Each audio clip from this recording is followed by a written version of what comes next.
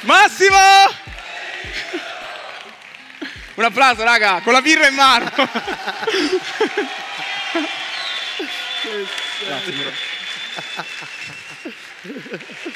Che piacere, che piacere. Che stile anche tu, bro.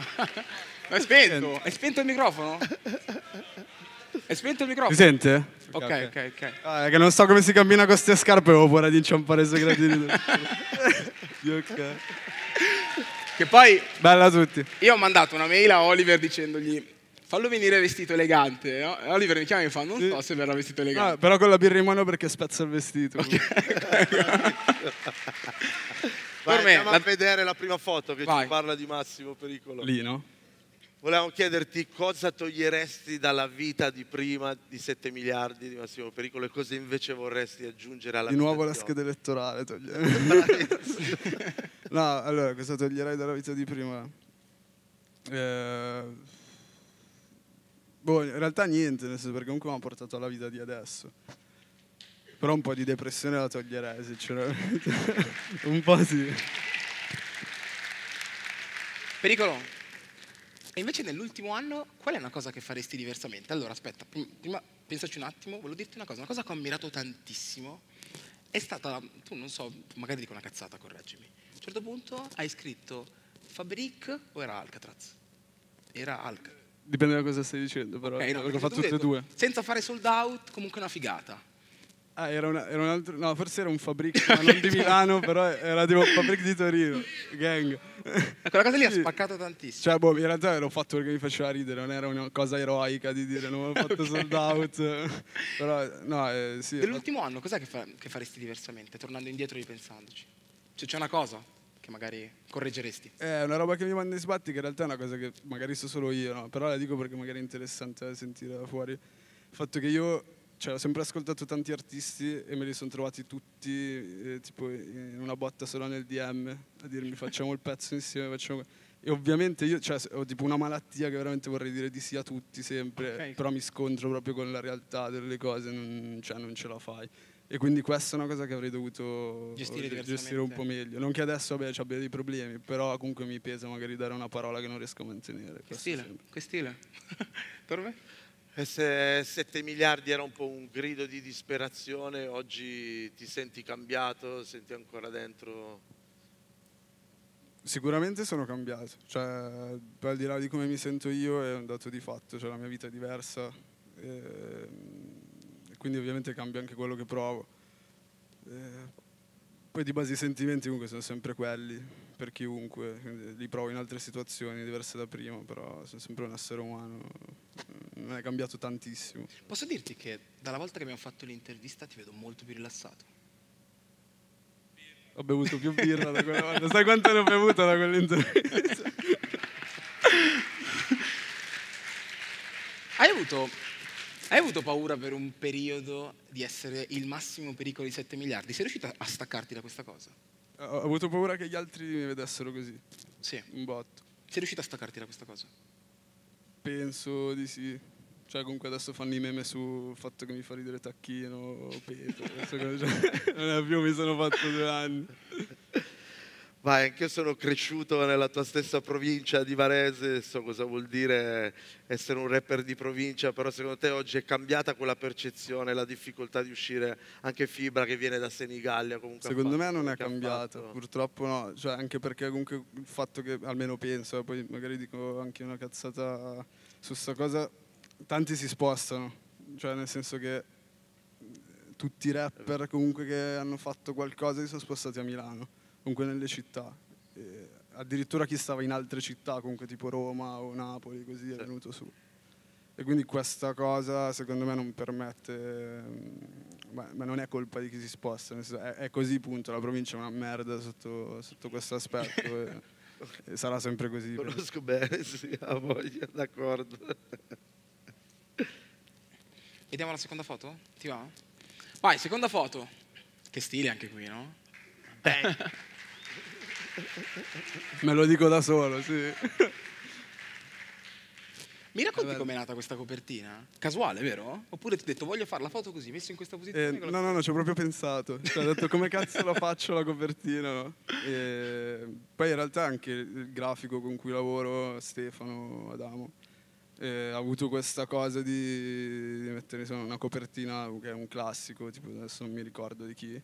Era in questa, Ah. in questa posa qua praticamente, ok. senza pistola, e sì, vabbè ovviamente vestito diver- diverso. E l'abbiamo rifatta perché la mia idea era comunque di puntarmi una pistola in testa e mettermi le orecchie da gatto e alla fine il compromesso è questo. Cosa cambieresti di questo disco? Ci aggiungeresti dei featuring? Prima parlavi di featuring. Eh, Featuring qua dentro? Sì. No. No, no, easy così. Ok, easy così. per me? Visto che tratti comunque dei temi che sono- parlano molto del sociale, cioè, co- cosa vorresti cambiare nella mentalità, poi venendo anche da una provincia come quella di Varese, cosa vorresti cambiare di base nella mentalità un po' della gente, se ne avessi il potere? Aspetta, sto zitto per un po' perché ci devo pensare. Ce ne sono un po' di cose da, Sì. da cambiare. non so da dove cominciare. Ce n'è. Però, boh, cioè, ma in generale questa è una cosa di tutti, proprio cioè, di pensare un po' ai cazzi propri. ehm, Cioè, in Non pochi, in pochi lo fanno. altri, no? Non è tanto il giudizio, nel senso, puoi giudicare in casa tua, tieni solo per, per te, per i tuoi figli, però cioè, si rompe troppo le palle al vicino, Mm. in senso metaforico. no? Assolutamente. La traccia che secondo te era una hit, ma che non è arrivata a quanto aspettavi. Cioè, quello era un pezzo che ascoltandolo mentre facevi il disco dicevi questa qui quando esce spacchiamo tutto e poi alla fine hai detto "Mm, forse mi sbagliavo. Beh, che comunque ha spaccato, però che magari non è arrivata dove, dove arriva una hit, ma perché effettivamente magari è un po' scarna proprio la canzone. Per- Però per me è figa per quello, cocco, Ok. dire, secondo me. Siete d'accordo? Per me? Visto che è una delle tracce preferite anche dell'album è Amici, qual è, qual è la differenza fra la scelta giusta e la scelta migliore? Cazzo che domandone. Spesso la scelta giusta la sai solo tu, mentre la scelta migliore è una cosa che sanno tutti, eh, tra virgolette. Però Che stile. allora, grazie raga. prima abbiamo spoilerato l'ultima foto. Parlando di amici. Allora. Una volta Marra mi disse una cosa. Mi disse, in Italia molto spesso nel rap manca la riconoscenza. No? Questa cosa del, del riempire i club con i tuoi amici, per me è una cosa che è, ass- è assurda per il rap oggi, no? Sai, quando uno spicca il volo, spesso lo spicca da solo, no? Ok. Com'è stato riempire i club con i tuoi amici? Una figata, nel senso che comunque la cosa è nata da prima, eh, quindi il discorso non è tanto legato al rap quanto proprio al rapporto umano che, che c'è da prima del- della carriera, non solo mia ma anche di quella di Speranza e di, di Barracano, che per me sono Ugo e Rafiruccio. E è stato bello perché in quegli anni ci siamo sentiti costantemente, soprattutto con Rafi, poi quando Ugo è salito a Milano la storia bella sapete tutti più o meno e mm, ci siamo incontrati più volte e abbiamo visto crescere piano piano una cosa eh, che ci ha legati ancora di più.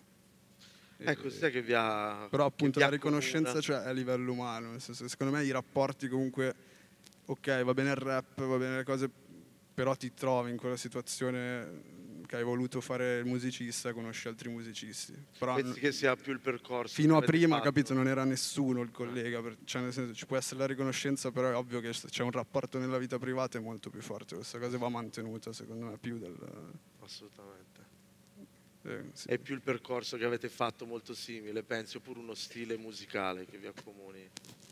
Secondo me è più la sensibilità nostra, il modo di, di raccontare, eh, quello che abbiamo vissuto in generale.